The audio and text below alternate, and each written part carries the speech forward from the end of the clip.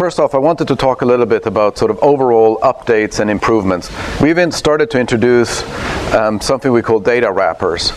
And they allow you to give sort of more qualified data or additional information to data of various kinds. So for instance, if you use weighted data, you can now compute the mean or any other sort of descriptive statistics. It works in a variety of functions that take data input.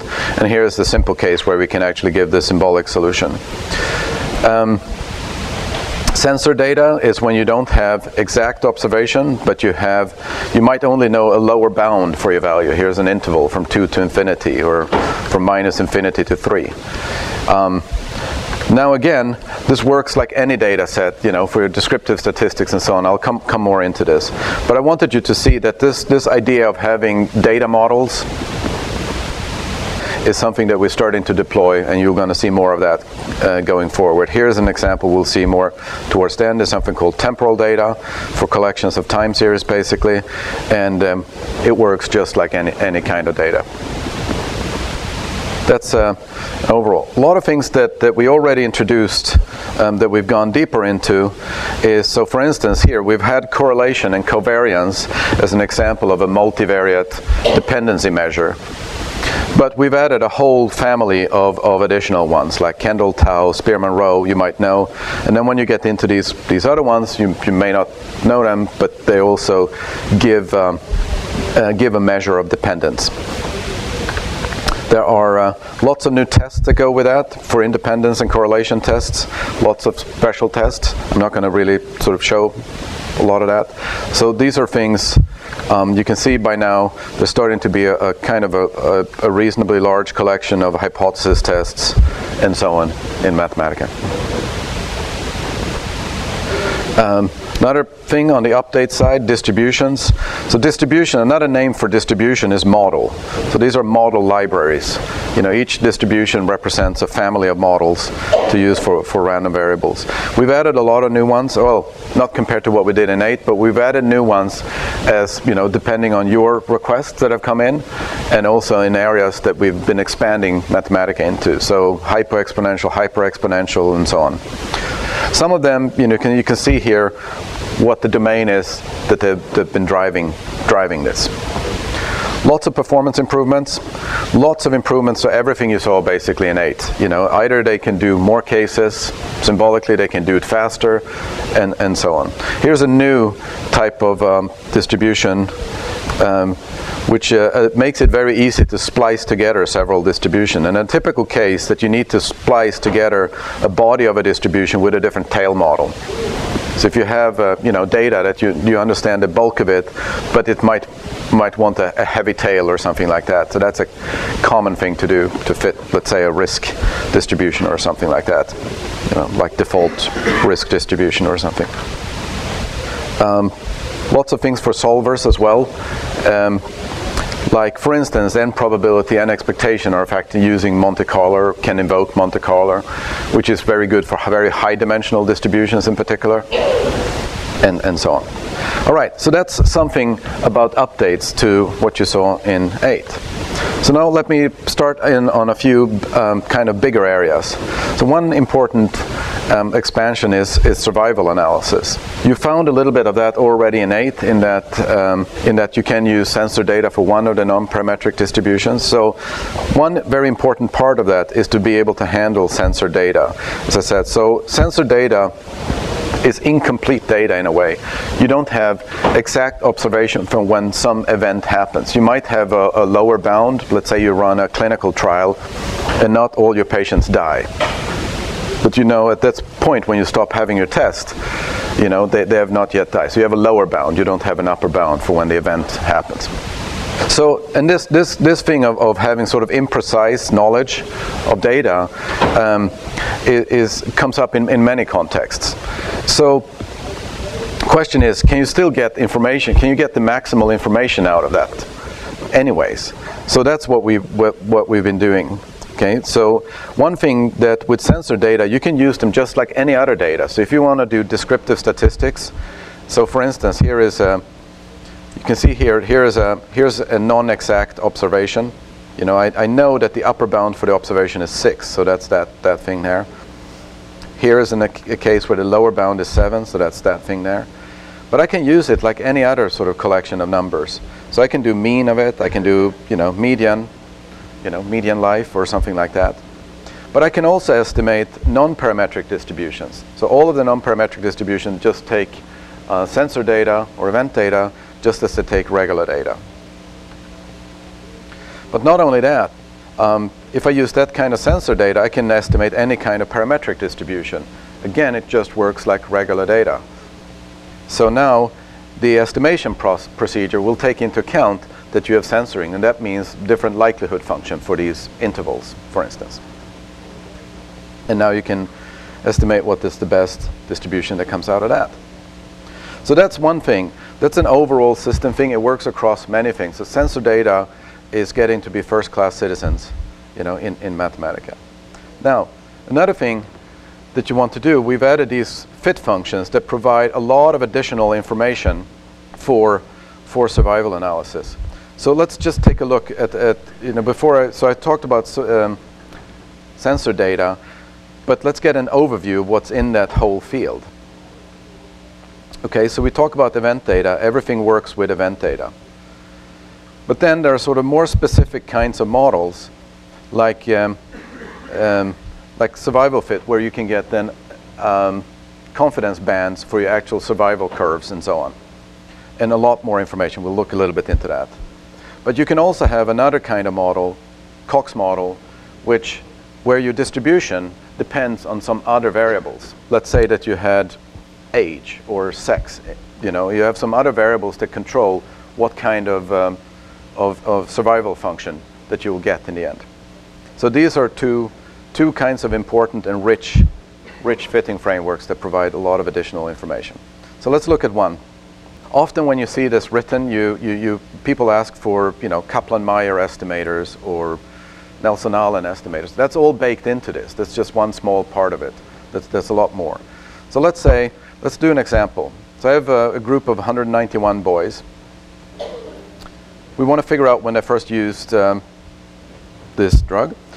And, um, you know, and there are different kinds of responses. You know, I tried it at HT, I never tried it, I tried it, but I don't remember when. In this last case, I tried it, but when I don't, don't remember when, I, I, don't, I now have an upper bound, right? Because I know when I ask them. So, so we have we get some query responses from that, the different formats to, to give censored data. That's the other thing that we can support because censored data are given to you in, in a variety of ways in spreadsheets and so on. I can now get myself a survival model fit, which gives you a survival model which you can query for a lot of other things. One thing that you can get are these confidence bands. These are pointwise bands. And uh, you can get a full event table. You can talk about sort of how many at risk and so on at different levels. So it, it has some reporting capabilities and uh, lots of lots of examples along these lines. Another thing that is actually quite related to to survival analysis, reliability. So reliability is the the um, probability that a system is working at some time t. So that time is actually important. Well, a system working, you know, if you think of biological system, that means alive. Okay, so so that sounds like a survival curve. That's what it is. It's just called reliability for technical systems. But it is the same thing. Survival curves, reliability is just the same thing. Um, so there you can imagine that these things are actually related. What makes uh, reliability a little bit different is that we actually look on connected systems.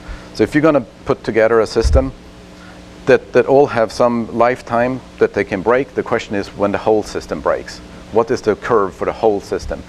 You might not be able to measure it. Imagine that you're building a nuclear power plant.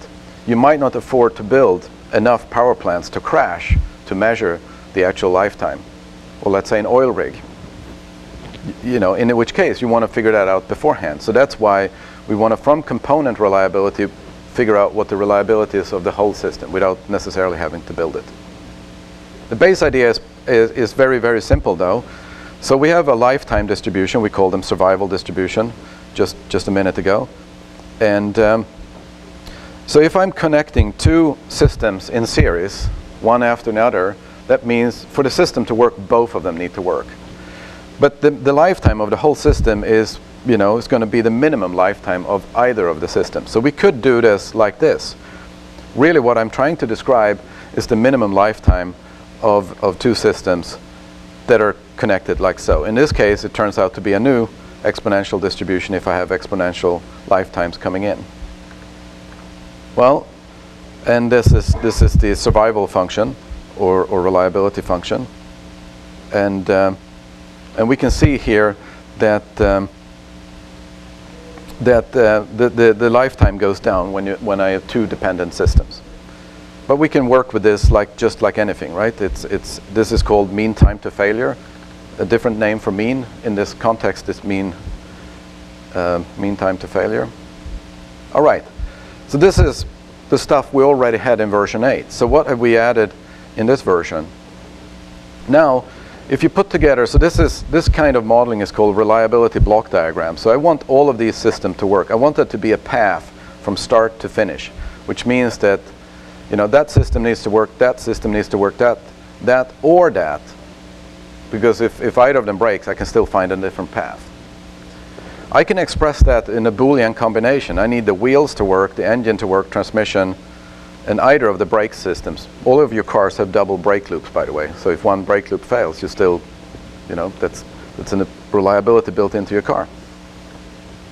So the way we specify it is, is these systems, and then we just say, for each subsystem, what lifetime distribution do they follow? And each of these systems could themselves be a complicated system. But let's do our previous example that we just did with, with uh, looking at minimum time. So if I want both of these systems to, to, to work, x and y, x you know, is, a, is both of these are exponential, we're going to get the same result as we, as we just got. So and is the same as minimum time in this case. Now I can do the example that we did up here. So I can have wheels, engine, and so on. So here's an example that, that correspond to that diagram up there and I defined my reliability function for a car. Look at it. Um, I, it's a distribution. So everything that works for distributions in Mathematica, and there's like 35 different properties, different, so, you know, a lot of things, all work for even when it's, it's reliability of a system. Particularly, you might be interested in the survival function or the mean time to failure. A different way to model it. So this is a sort of a positive outlook on life. The, the, it's, success-oriented modeling let's let's flip it around and and um, have kind of a failure-oriented view on life. So now we ask the question: If this system failed, what could have caused that system to fail? And that can be, you know, one of several things, and it can be a composite. So I can break that down. It can be one of several things that caused it to fail. Okay, we call that a failure distribution. So the way we give it, sort of here are the things that could have caused it to fail. Like in, in this case here, it's either X1 is that subsystem, or, or G1, which is again a subsystem, or G2, and I can sort of continue to break that down. So again, I can give a Boolean condition, and this gives the same, this is in fact the same elementary example that we started with, where two things need to be true. And so if either X or Y fails, the whole system fails. You know. And so what we're going to get is in fact the same survival function, same mean time to failure.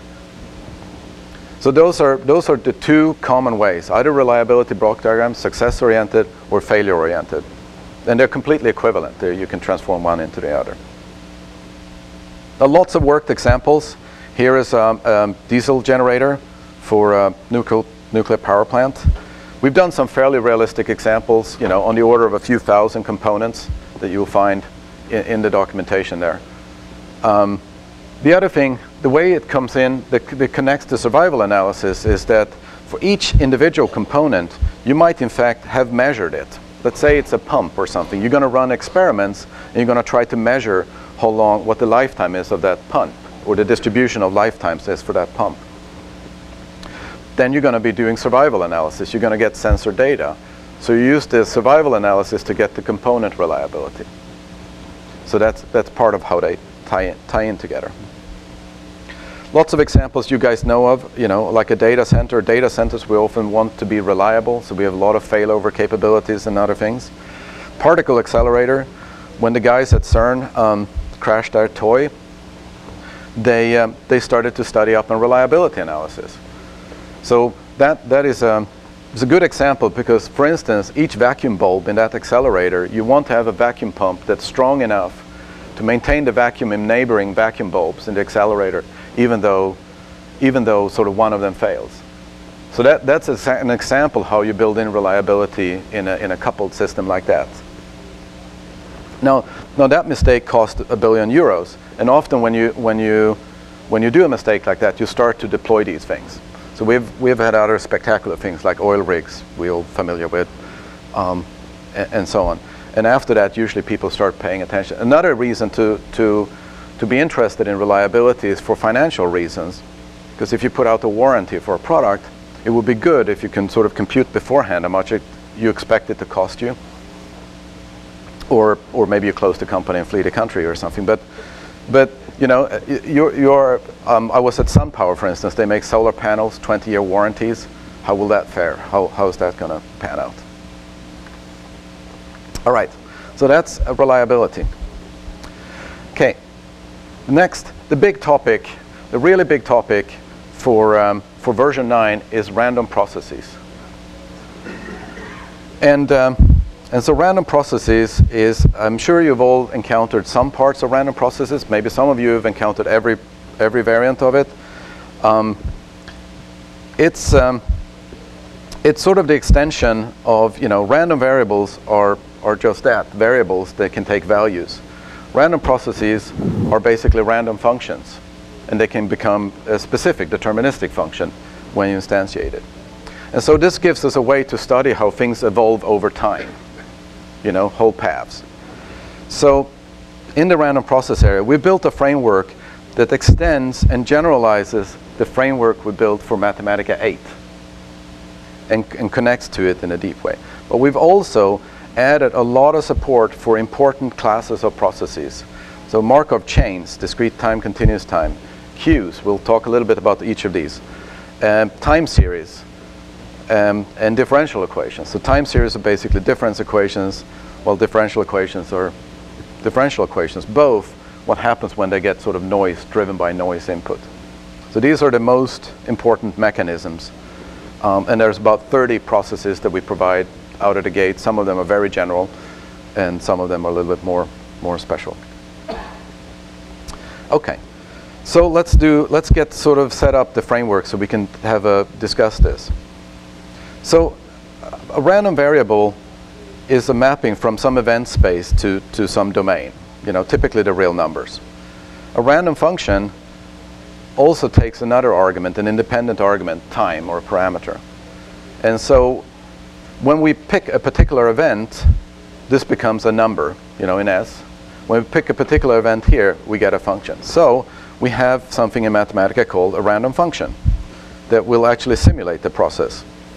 So if I, if I pick some particular process, I simulate it from 0 to 50, and I will get a temporal data object out. So I'll come back to temporal data. We saw a little bit about it. One important thing that we can see up here that that this space, you know, in distributions, we have discrete distributions and continuous distributions. Discrete um, takes on a discrete set of possible values, like the binomial distributions, just integer values. And continuous, like normal, can take on all the reals. So it's a continuous range of values. So we can have, we have the same issue here for, for processes, that the value can be discrete or continuous, but also time. You know, the argument to that function can be discrete or continuous. So I'm going to give you some examples in each, each uh, case here. So binomial process, it's discrete time and discrete state. Here's a, here's a trajectory or a path from that. Um, AR process, this is a time series process, autoregressive process. It's discrete time, but continuous state.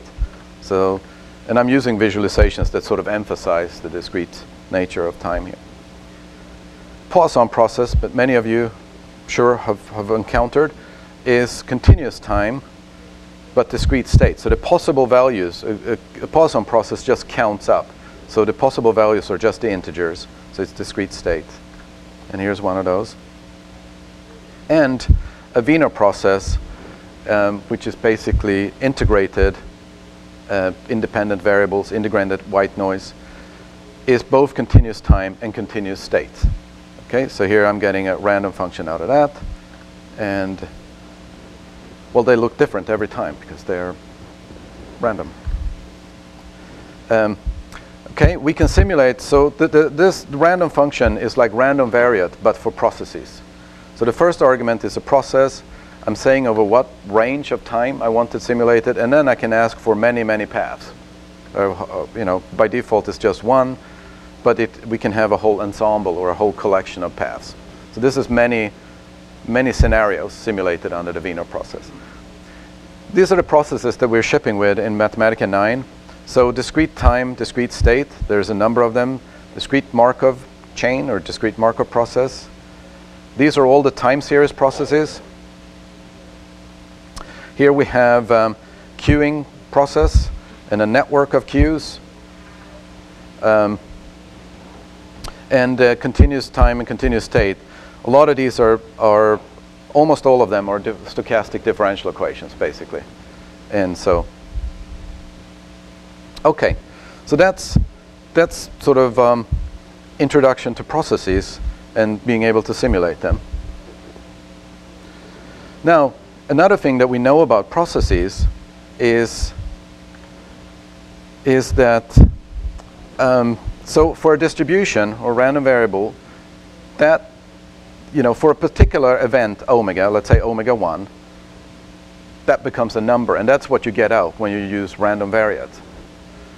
For processes, for a particular value of, of omega 1, we saw we get a function, and you saw me give that out with random function to give the, the path out, we plotted them. But there's another thing I can do here. I can just fix the time, you know, and, and keep, keep uh, the event still sort of you know, unknown. That, that gives us, you know, so this is now a random variable. That's very interesting. So we, we, for a process, I can say, I want to see what random variable this process is at a certain time. We call that a slice distribution.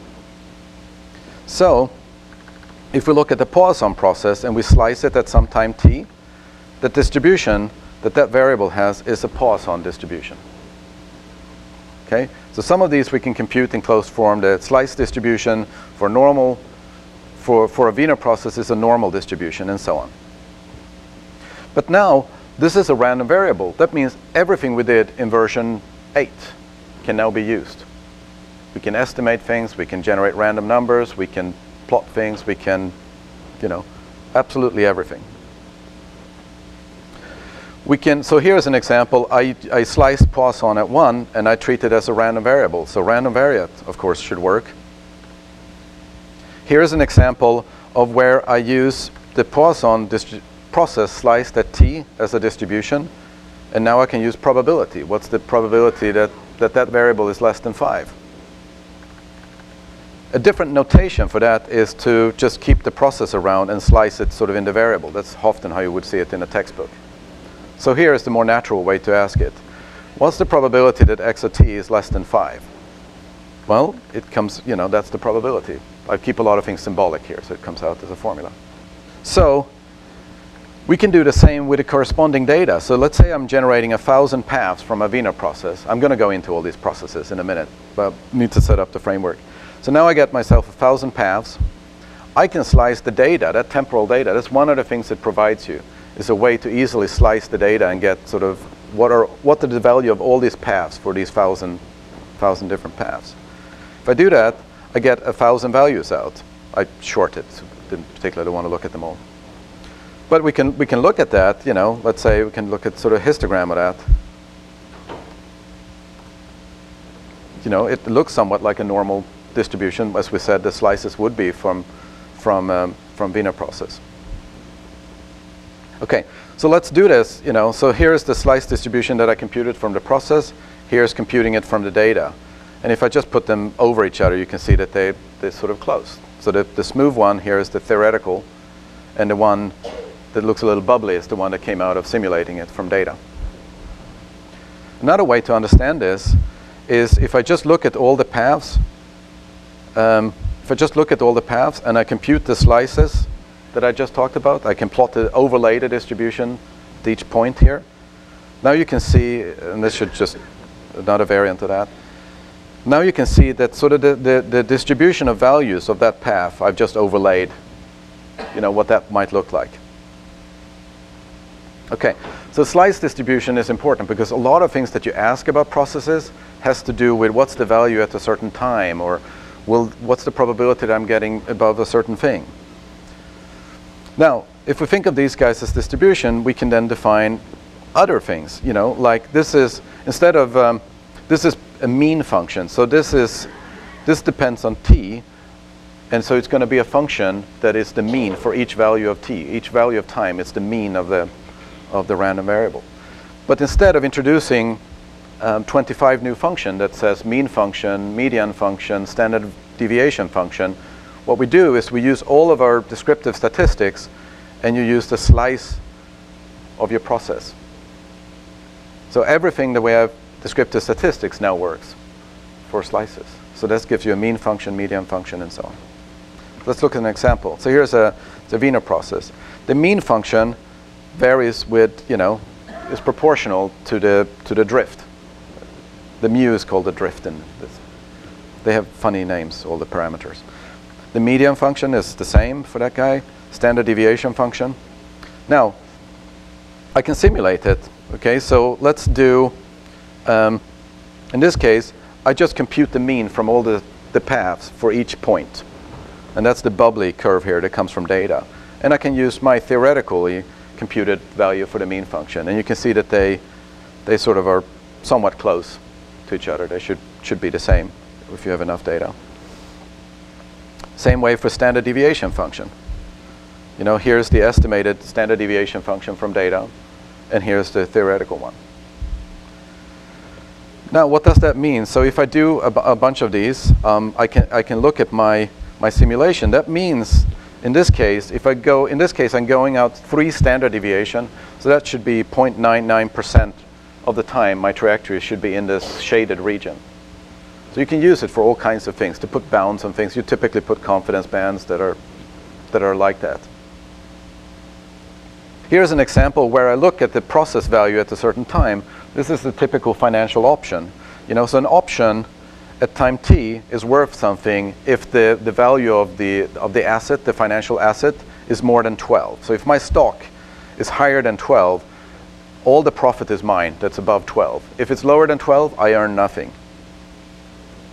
Okay, so what's my expected value for this, for this, you know, this gain at t? And in this case, I'm keeping a lot of things symbolic, but I'm looking at the Wiener process at time t, and you can just formulate it sort of right away, like, like you think you should. All right. Next up is we can, we can do more than one slice, you know. So if I have all these paths going through, so I looked at putting one slice at t, but what if I take two of them, you know, different points in time, and I want to see how these guys relate to each other. So, because then you get to correlation in time and other things, you know, which is the, the really important thing for, for processes.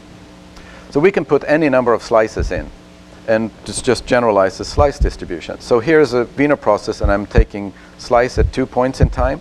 I'm getting a binormal distribution. So that cap captures how things depend over time as well.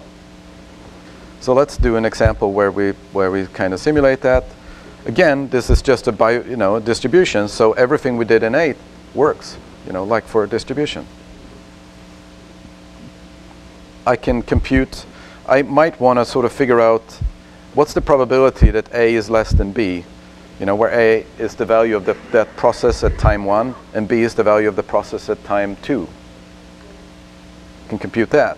Or we can use this other notation that I showed where, I, where you sort of put the slice in your variables. So what's the probability that x of 1 is less than x of 2 when I follow a, a, one of these processes? Okay, well we can do it from data of course. Um, I simulate that path. I now slice my temporal data at two spots. So I get collections of, of uh, length two lists because, you know, they, they bivariate. um, I can look at the, what, that, what does that slice distribution look like theoretically, and what does it look from data. So I'm just estimating a bivariate distribution from my bivariate data instead. And they should be similar. That gives us another thing, which is very important for many processes, covariance functions or correlation functions. So um, the, the, the, the, absolute correlation function is just the expected value between these two variables. How much are these guys varying together? Okay, and their variance, covariance and correlation and so on, they're just um, normalized and scaled. So here are some examples of, of what these guys look like. And these are things that you can ask for for any process. These are the, the resulting functions. And this is what it might look like. So if I just go and take a look here, um, this is um, when, when our time is discrete, you know, two, two discrete time, that's what it might look like. This continuous time an example that would just look like. So every process has this, you know, and you, often people don't look at more than sort of two slices because then it gets really hard. So most of the things we know about processes are first slice properties and second slice properties, usually called first order and second order.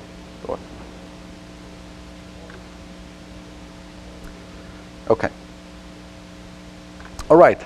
Enough of sort of framework, but you, you get the idea how this connects into random variables, right? It's, it's you know, if you think of processes, you take a slice, obviously you get a variable. If you take multi-slice, you get multivariate random variables. And now everything that we did before works for processes. Okay? But then the culture of developing random processes is disparate. It's many different communities that have developed this for different applications.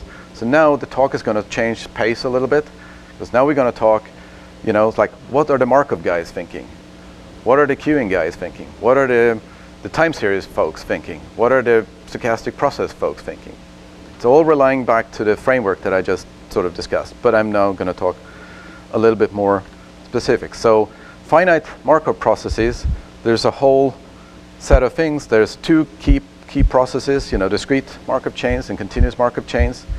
What we've done for many of these areas that we provided additional functionality because they make the applications that you typically want to do in this area easy to do. So for these groups of things that I'm talking about now, there's sort of additional functionality. Okay, so the way you specify a discrete Markov process is, you know, you can think of it as a graph. So here's a picture one. This one has four states, discrete states, and you have to give the probability of transitioning from to each of the other states. If there isn't an arrow, the probability is zero. So state three, which I start in, has a quarter of probability to move over to two, quarter of probability to move over to one, and it can stay in the same with, with probability 0.25, and it can move over to four. Now, you specify that in a big matrix. So state three that we just looked at, you specify that row here. That's the probability, the first one is the probability to go to state one, that one, point, you know, 0.25, probability to state 2, probability to state 3, and so on. So you give the transition probabilities. Okay. Now, of course, um, we can now render that as a graph by just applying graph to it. Um, we can simulate it. Now, this is a random process, you know, so I just defined that process up there. Uh, let's, let's look at some typical scenario, you know, typical scenarios from this guy. So I run it um, 15 times, and if I keep on running it, so you can see immediately just from the simulation that this guy either gets stuck in 4 or it seems to oscillate between 1 and 2. Could we have predicted that by just looking at the at sort of the picture of it, right? I start in this guy, either I'm going to 4 and there's no way out. That guy is stuck. It's called an absorbing state. Or I pick either of these, but there's no way back. They're just going to oscillate between themselves. And that's exactly what we see here when we simulate it, right? So actually a good example, is my favorite example, I should have done this. But imagine a sort of a frog on a lily pond. Jumping from lily pad to lily pad. Um, and there is a path, you know, you can transition to that lily pad if it's, you know, within the reach of a frog jump. Um, so that, that sets up a, a, a Markov chain already there. That what I've said, you know, let's say it's equally likely depending on distance or something, you can then give the probabilities. But you can also illustrate things like the absorbing state because assume at, at one place where there's supposed to be a lily pad, there's a crocodile. Then you can illustrate the sort of the absorbing state and, and other things too. So we looked at what it looks like. Now we've set up the framework, so I can ask for things like, what's the probability that I'm in state one at time 10? Fine, I just ask it. You know, the, the obvious way. What's the probability at infinite time, you know, long uh, for the long-term behavior that I'm in state one? Or really, it should be interpreted, what fraction of time am I going to be in state one? Or I can even keep it symbolic. That's, I wouldn't recommend that for huge Markov chains, but for, for, for toy ones. Um, we also provide, so here's an example of a service function that does something unique to Markov chains. This, in fact, provides a summary table. Everything here that you see can be individually called. So here's the, the input data of various kinds.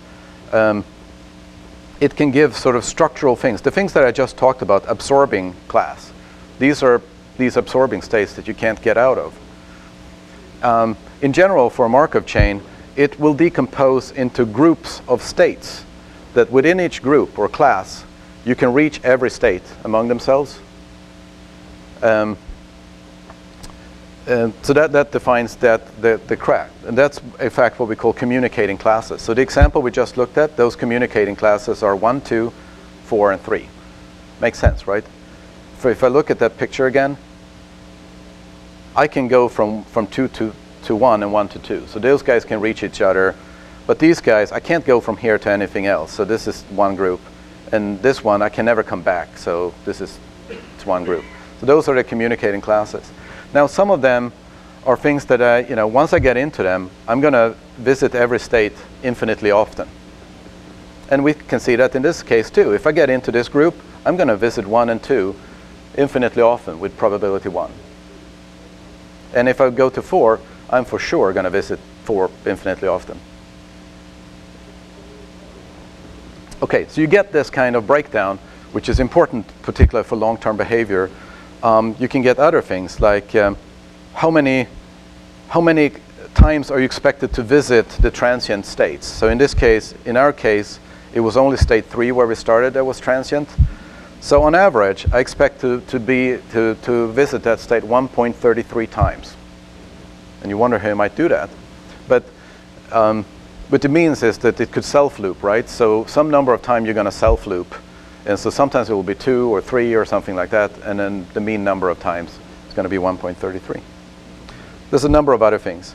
Let's look at just, I'm just going to you know, one way to construct these things is to use any graph. So we have a huge collection of graphs, and you can build graphs from just about anything, from Facebook and, you know, you, you, you name it. Well, a, gra a graph perfectly well defines a, a Markov process. So I can actually give a second argument here, a graph, instead of that matrix that you saw me give. Okay?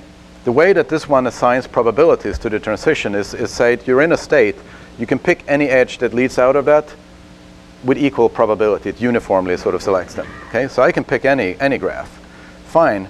So this is what the, you know what that corresponds to.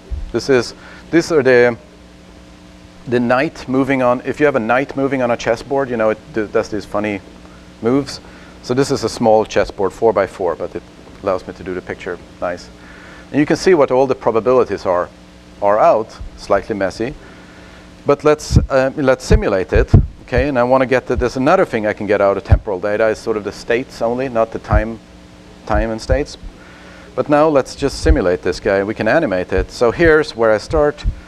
Um, so the red, this is the current state I'm in, and this is where I came from. This is just what I did using highlight graph. And I can jump around, keep on jumping around in the chessboard.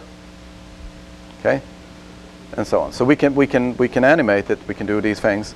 But let's pick a bigger chessboard, like a 25 by 25 chessboard. And you know, I can show, so here's a basically a random walk on that graph or that chessboard. So when you simulate the Markov chain, you get a random walk on a graph.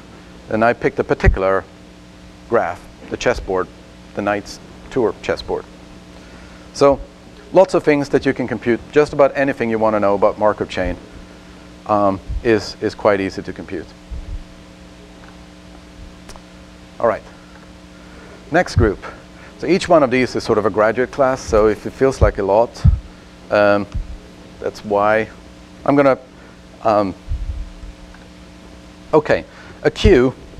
So one thing, you know, a queue is, uh, we've all experienced queues, you know, and so the, the mathematical model of a queue is really the sort of the line that you wait and then this number of servers that serve you. Um, so that's a single queue. Um, the other variant is that you can have multiple queues that are connected in a network. Like on an airport, you go from check-in to security to boarding and so on. Um, and, and in technical systems like a, a, web server or something like that, you fork off to different queues and it gets processed and, and, and so on. So there are many, many natural systems that match queues. This really got developed in the 60s and 70s where this new idea called packet switching that eventually led to something called the internet um, became popular way of, of doing communication. Right, so let's, sim let's simulate a simple queue here. I'm going to sort of set what you need to specify for a queue is how frequently things arrive into the queue, called arrival rate. You need to specify how quickly things get served, called service rate, amazingly enough. So I'm going to just simulate that queue for different, different um, service rates. So one thing that you can see, so this, the, the state of the queue is the number of jobs or people in the system. If I have more people arrive, you know, and I get close to the capacity the, the rate at which servers can produce things, the, the, the, the number of people in the system is going to increase. You know, and you, you tend to get these bulges.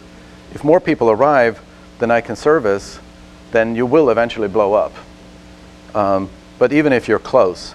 So the, the, the one important thing, you know, the, the, really important thing you want to get out of it when you model a queue is what is the expected time that you have to wait in queue?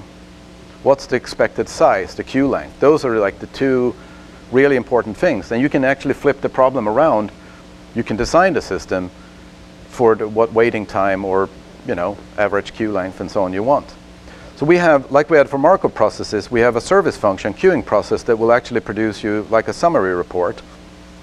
These are, it, it will tell you about sort of, this one has two service channels. I'm sorry, one service channel and you can see here mean system size. I kept things symbolic here so you can see how it depends on your parameters. But let's, let's see, you know, so we have this, um, you know, there, there are a few other parameters that you can specify for a queue. So one is the number of servers, one is the size. You know, uh, you, if you have a max size for a queue, you reject new customers. You don't let them in the door. You know, if they're new process jobs, you just blow them away. Um, and a, and a telecom switch does that. You know, when you lift your telephone and you call the switch, if it's overloaded, it will just reject your call. That happens sometimes when there are big accidents and so on, right? Okay, so the first one is the number of servers. You can see now I have two servers from the same, same queue, and I'm just showing the summary table of, of waiting times and so on below. Or three servers and so on. That's the number of servers.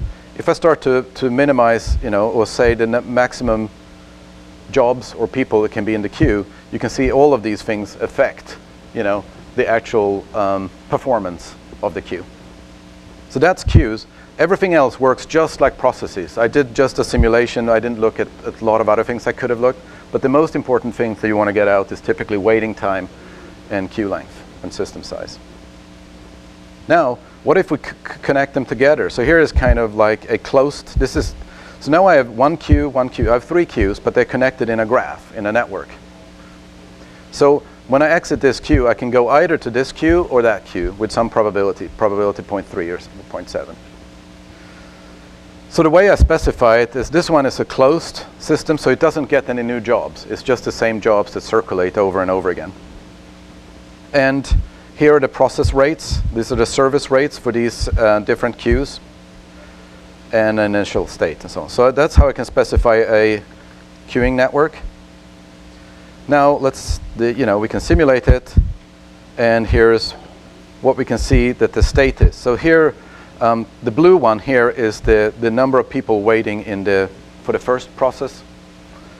And then uh, red is for the second process and yellow is for the third process and so on. Okay, So if I, if I just tweak the service rate from that first server, you can see that, that what's going to happen is that you're going to get more balanced state. You know, clearly the way I first had it, um, if we look at that picture here, everybody's waiting for the first processor to finish its thing. This guy.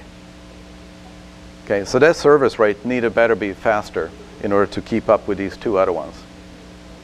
So you can see here how I, I, I tweak that service rate and I can see I can get them more balanced to the point where now there's almost no one in the blue queue and everybody's waiting for the other ones. The first one is so damn fast.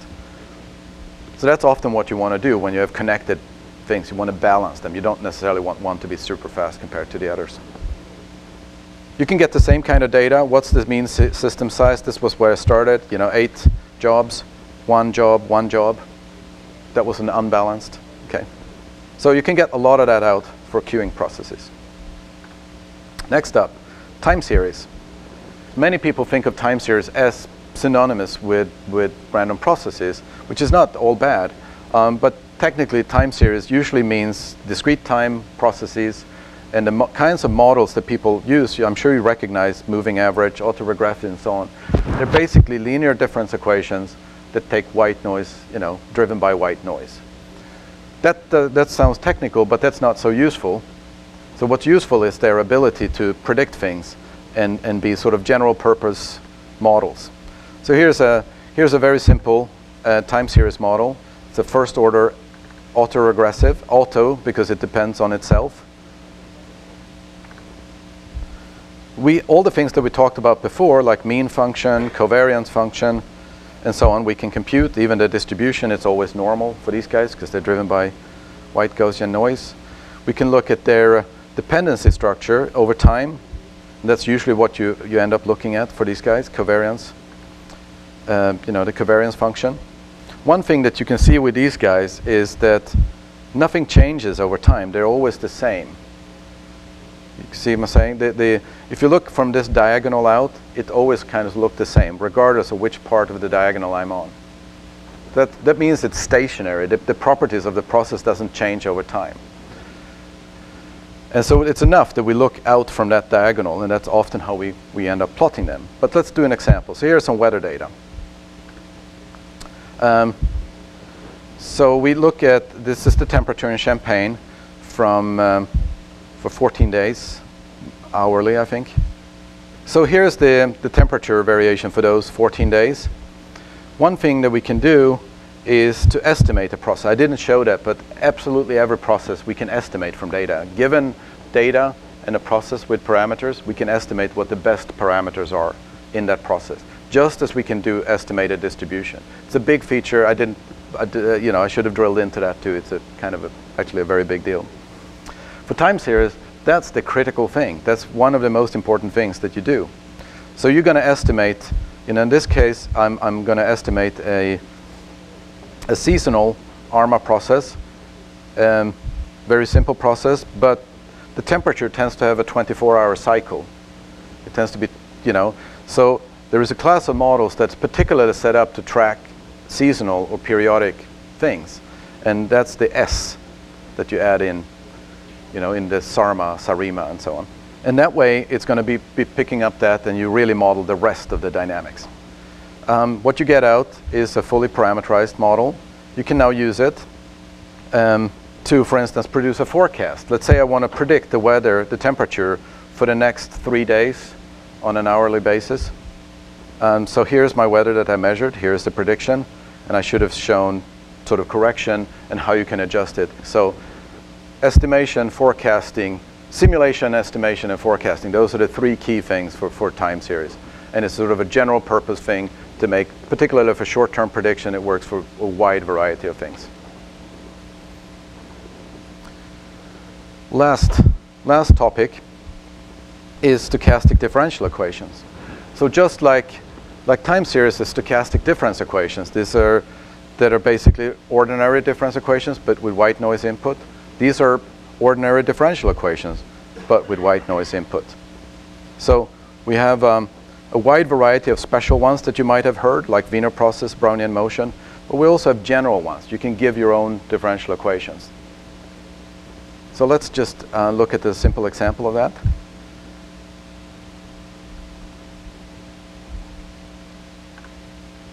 Okay. Um, so, so first of all, some of these, these specially named things, like, in, like a Wiener process, that is actually a, a stochastic differential equation. And this means here,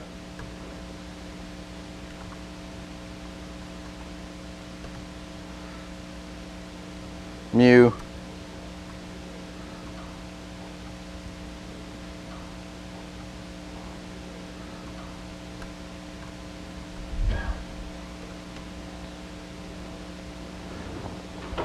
this notation, the mu here means the coefficient in front of that part of your differential equation, and the sigma means the coefficient in front of that.